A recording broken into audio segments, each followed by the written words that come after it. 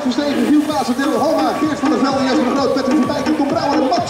En dan is Giel aan de leiding hoor. Giel is heel goed vertrokken, neemt aan de Groot met zich mee die tweede plaats. Oh, hij zit er goed bij. Kevin van Benjamin op plaats nummer 3, nee, het is Verstegen. Uh, het is Nout Verstegen natuurlijk uh, voor Ammerslooi. En de man in het rood, dat is uh, de man van Assen.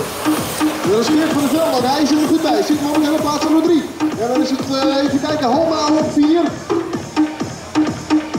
Klaas in ieder geval aan de leiding. Klaas aan de leiding en erachter nog een mooi gevecht. Dat is de groot op die tweede plaats. Hij ziet steady. De gevecht gaat tussen verstegen. En Geert van der Velde. Geert van der Velde plaats nummer 4. Gaat